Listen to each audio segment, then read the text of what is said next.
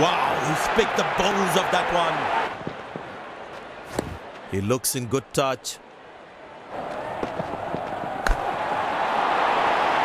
Wow, he picked the bones of that one. That was a brilliant shot. That's a six. The...